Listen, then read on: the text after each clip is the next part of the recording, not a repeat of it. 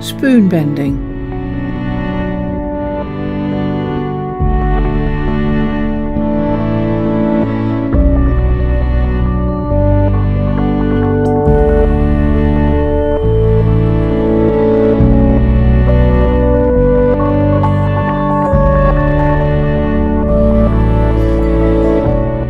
Psychokinesis, also called telekinesis, is the action of mind on matter, in which objects are supposedly caused to move or change as a result of mental concentration upon them.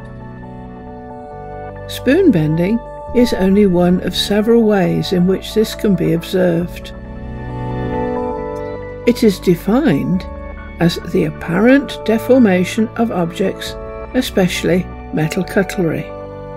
Those who cannot explain it either use the word magic trick or try to imply all the thousands of observations are fake. Somewhat like dowsing, it is one of the things numerous people can do, which we are told has not been demonstrated to the satisfaction of the scientific community. Unlike dowsing, however, which has been used for centuries, bending spoons has no practical application, so has attracted less attention. In fact, one commentator pointed out that it was a waste of a perfectly functional piece of cutlery. However, there are scientists who studied the phenomenon extensively. The Metal Benders by John B. Hasted. Always to some extent dissatisfied with existing physical theory, I became interested in psychic research when the young Uri Geller visited England to demonstrate paranormal metal bending on television. Once I became committed by my own observations to recognizing that these peculiar physical phenomena really took place, I started to spend time on observations in the belief that the phenomena demanded a new approach in physics in order to explain them.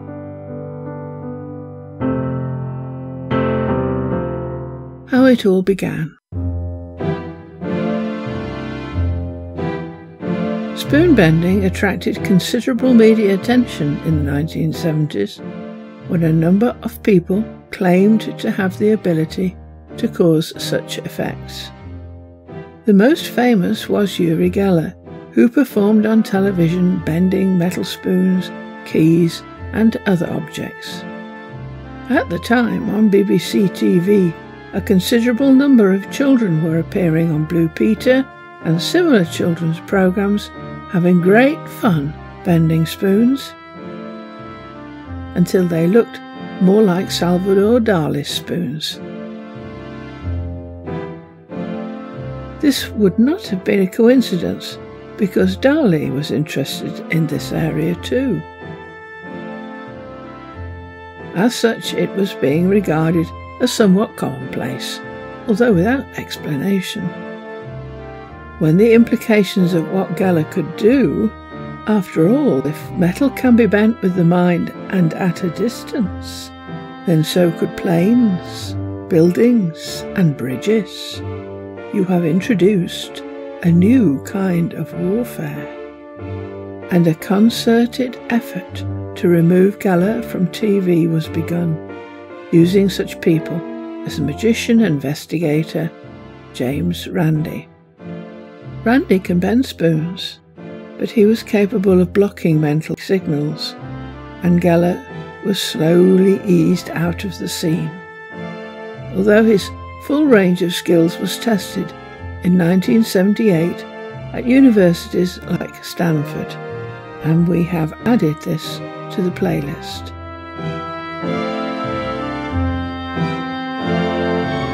These days, such effects are being demonstrated to ordinary people by using spoon bending parties.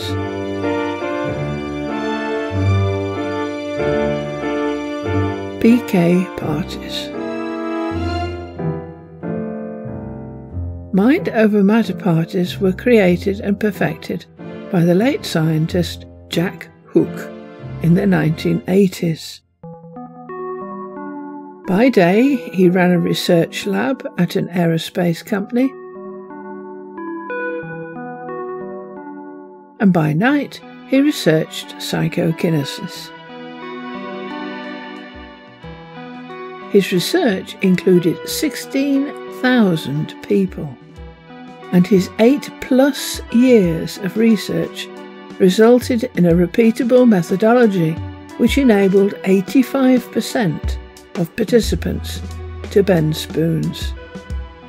He found that although the phenomenon is possible with a single person, it gets much easier when a group of 15 or more create a peak emotional experience together. The explanation is that energy follows intention. And that spoons just happen to make great tangible feedback mechanisms. In other words, this proposition works at a more general level. We have added a link below to a website providing more details on PK parties. And we also have a video on Michael Crichton, whose book Travels describes his success with spoon bending at just such a party, and links to both the science of spoon bending and the methods. And although we have a great number of observations of people able to do this, perhaps the work of Professor John Barrett Hasted stands out in terms of the research undertaken.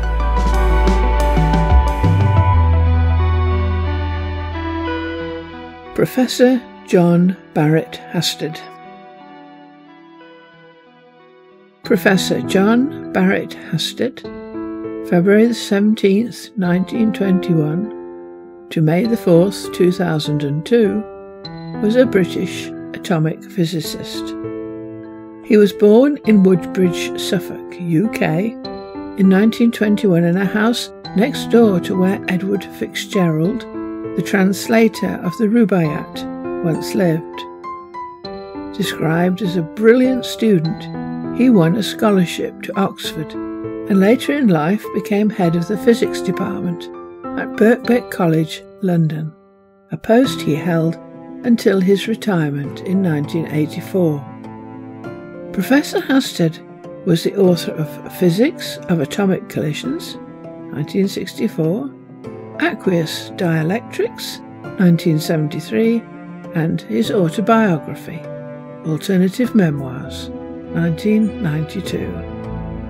What is of interest to this site, however, is his rejection of the direction theoretical physics took in the 60s, and his search to find alternative answers in the thousands upon thousands of observations and experiments rejected by theoretical physicists of his day. And his very thorough and extremely carefully planned research into a host of so called paranormal phenomena, his book, The Metal Benders, 1981, documents his work from The Metal Benders by John B. Hasted. Psychic research is an underrated branch of science. It is likely to lead to a depth of understanding of reality greater than that which we already have, and the social consequences of such an understanding could be very great. Although many observations have been made and some valuable knowledge obtained about the patterns of psychic behaviour, there is next to nothing which could be described as a theory by which the phenomena might be interpreted. The lack of such a theory has led to the observations themselves being discredited. And indeed, there are various social and psychological pressures which reinforce this discredit. It is an interesting example of the thesis that scientific observations are often judged by social criteria.